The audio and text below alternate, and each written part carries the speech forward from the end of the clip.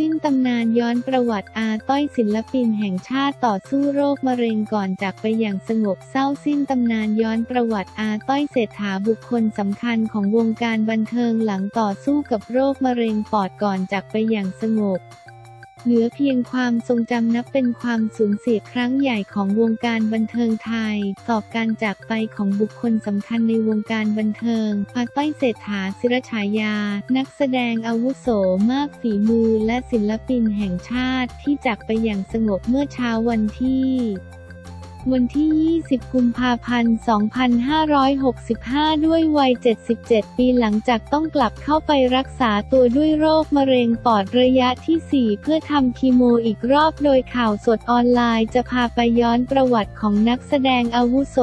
อาต้อยเศรษฐาศิรฉายา ซึ่งถือเป็นบุคคลสำคัญอีกคนหนึ่งในวงการบันเทิงไทย และสร้างชื่อเสียงให้กับวงการบันเทิงมากมายสำหรับอาต้อยเศรษฐาศิรฉายาเกิดเมื่อวันที่ 6 พฤศจิกายน 2487 ซึ่งอาต้อย เริ่มเข้าสู่วงการบันเทิงตั้งแต่อายุประมาณ 16 ปีต่อมาอาต้อยได้ฝึกหัดทักษะด้านดนตรีแบบครูพักลักจำจนได้ก้าวขึ้นมาเป็นนักร้องตามสถานบันเทิงต่างๆ และได้รวมตัวกับเพื่อนๆนักดนตรีตั้งวงดนตรีชื่อ Holiday J3 ต่อมาเปลี่ยนชื่อเป็น Joy Reaction และเปลี่ยนอีกครั้งในชื่อ The Impossible The Impossible กระทั่งปี 2512 The Impossible สามารถคว้าถ้วยพระราชทานรางวัลชนะเลิศการประกวดวงสตริงคอมโบ และชนะเลิศการประกวดวงสตริงคอมโบอีกสองครั้งติดต่อกันจนกลายเป็นวงที่มีชื่อเสียงโด่งดังในขณะนั้น อีกทั้งอาต้อยยังได้รับการชักชวนจากจุรีโอซิริให้มาแสดงภาพยนตร์ครั้งแรกเรื่อง ฝ้ายแกมแพร จนได้รับรางวัลพระราชทานพระสุรัสวดี สาขานักแสดงสมทบชายยอดเยี่ยมมาครอง จากนั้นปี 2519 The Impossible ประกาศยุบวงอย่างเป็นทางการทำให้อาต้อยก้าวเข้าสู่วงการบันเทิงอย่างเต็มตัว โดยมีผลงานทั้งงานพิธีกรและนักแสดงเป็นจำนวนมาก และยังเคยได้รับบทพระเอกประกบคู่กับนางเอกชื่อดังในยุคนั้นอรัญญานามวง ในเรื่องชื่นรักจึงกลายเป็นจุดเริ่มต้นความรักของทั้งคู่ แล้วพัฒนาความสัมพันธ์แต่งงานเป็นคู่ชีวิตที่ดูแลกันเสมอมา และมีบุตรสาวด้วยกันหนึ่งคนคือ อีฟพุทธิดา ศิรฉายา นอกจากนี้ในปี 2551 อาต้อย ได้รับเครื่องราชอิสริยาภรณ์อันเป็นที่สรรเสริญยิ่งดิเรกคุณาภรณ์ ชั้นที่ 7 เหรียญเงินดิเรกคุณาภรณ์ ต่อมาปี 2552 ได้รับเครื่องราชอิสริยาภรณ์อันมีเกียรติยศยิ่งมงกุฎไทย ชั้นที่ 5 เบญจมาภรณ์มงกุฎไทยและปี 2555 ได้รับเครื่องราชอิสริยาภรณ์อันเป็นที่สรรเสริญยิ่งดิเรกคุณาภรณ์ ชั้นที่ 4จตุถะดิเรกคุณาภรณ์ พร้อมกันนี้ในปี 2553 อาต้อย ได้รับรางวัลพระราชทานบันเทิงเทิดธรรมจากสมเด็จพระเทพรัตนราชสุดาสยามบรมราชกุมารี และรางวัลการเชิดชูบุคคลทางด้านผู้ใช้ภาษาไทยดีเด่นแห่งชาติ ประจำปีพุทธศักราช 2553 รวมถึงปี 2554 ได้รับรางวัลศิลปินแห่งชาติสาขาศิลปะการแสดงดนตรีไทยสากลขับร้องแล้วช่วงต้นปี 2562 อาต้อยได้ตรวจพบว่าเป็นโรคมะเร็งปอด และได้รับการรักษากับคุณหมอมาโดยตลอดจนช่วงเช้าของวันที่ 20 กุมภาพันธ์ 2565 อาต้อยจากไปอย่างสงบด้วยวัย 77 ปีในขณะที่ลูกสาวอีฟพุทธิดาก็ได้โพสต์รูปท้องฟ้าพร้อมเขียนแคปชั่นว่า 4.42 ขอบคุณข้อมูลจากวิกิพีเดียและภาพเฟซบุ๊กเซธาสีราชายา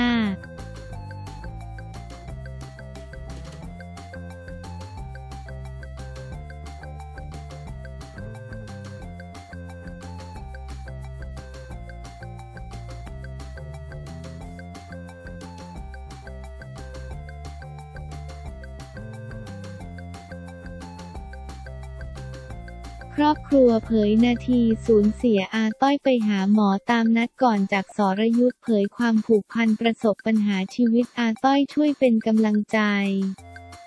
ครอบครัวเผยนาทีสูญเสียอาต้อยไปหาหมอตามนัดแล้วจากไปอย่างสงบ สรยุทธเผยความผูกพันจากกรณีการเสียชีวิตของนักแสดงอาวุโส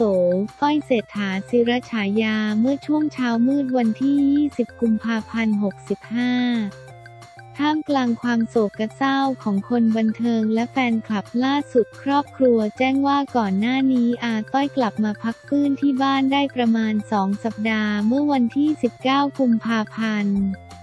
ไปโรงพยาบาลตามที่คุณหมอนัดเพื่อไปตรวจเช็คร่างกายปรากฏว่าคุณหมอแนะนำให้แอดมิดเพื่อที่จะให้น้ำเกลือ หลังจากนั้นอาต้อยก็จากไปอย่างสงบเบื้องต้นทางครอบครัวจะนำร่างอาต้อย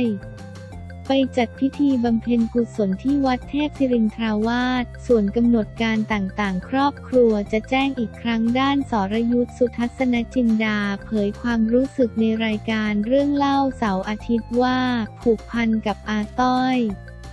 ทุกครั้งที่อาต้อยมาหามาออกรายการ บางทีผมประสบปัญหาชีวิตอาต้อยนี่แหละเป็นกำลังใจให้ผมเสมอมา ขอให้อาต้อยไปสู่ภพภูมิที่ดีขอบคุณที่มาเรื่องเล่าเสาร์อาทิตย์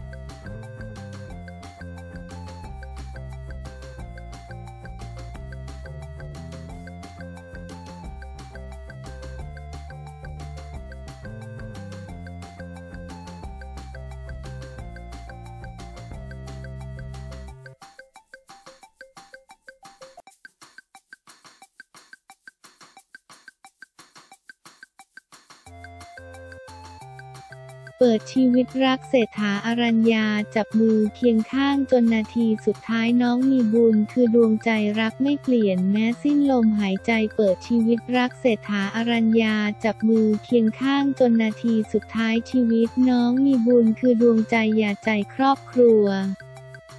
หลังสูญเสียตำนานวงการบันเทิงอาต้อยเศรษฐาศิรฉายาคนข้างหลังอย่างอาเปียกอรัญญานามวงพันรยาสุดอาลัยรัก โดยเปิดเส้นทางชีวิตคู่รักอันมั่นคงยาวนาน อาต้อยกับอาเปียกปี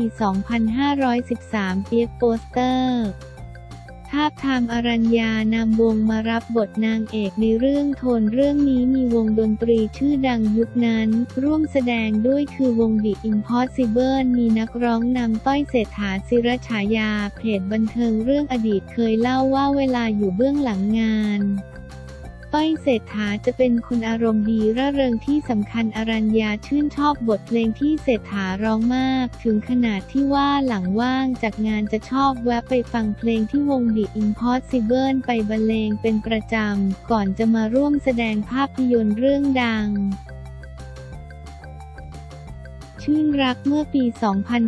2522 อาต้อยรับบทพระเอกแสดงร่วมกับอาเปียกอรัญญานางเอกสุดโด่งดังในยุคนั้นจุดเริ่มต้นนำไปสู่เส้นทางรักจนมีทายาทคืออีฟพุทธิดาครอบครัวอบอุ่นมีความสุข จนครั้งหนึ่งเกิดมรสุมครอบครัวเมื่ออาเปียกอรัญญาป่วยเส้นเลือดในสมอง แตกมีอาต้อยเศรษฐาคอยดูแลอยู่เคียงข้างจนอาเปียกกลับมาเป็นปกติกระทั่งเมื่อกลางปี 2562 ครอบครัวต้องเจอข่าวร้ายเมื่อพบว่า อาต้อยเศรษฐาตรวจพบป่วยเป็นมะเร็งปอดแต่อาต้อยก็มีกำลังใจดีมาตลอดจากภรรยา ครอบครัวคนรอบข้างที่สำคัญจากน้องมีบุญหลานชายคอยยาใจคุมตาให้ชุ่มชื่น ตอนนั้นเหมือนอาการจะดีขึ้น ล่าสุดการรักษาอาการป่วยมีภาพที่ อีฟลูกสาวเผยขณะคุณพ่อเข้ารับการรักษาในโรงพยาบาล มีกำลังใจจากอาเปียกภรรยาอยู่เคียงข้างไม่ห่าง โดยเฉพาะโมเมนต์จับมือสามีเป็นกำลังใจ อีฟ โพสต์ภาพนี้พร้อมแคปชั่นสั้นๆ แต่กินใจมากกว่าคู่ชีวิตส่วนความสุขสุดท้ายของต้อยเศรษฐาศิรฉายา คือเด็กน้อยน้องมีบุญที่อีฟโพสต์คลิปน้องมีบุญคอยเข็นรถคุณตาเป็นบุรุษพยาบาลตัวน้อยคอยเข็นรถเข็นคุณตาเป็นโมเมนต์ประทับใจของตำนานวงการบันเทิงก่อนจะจากไปอย่างสงบ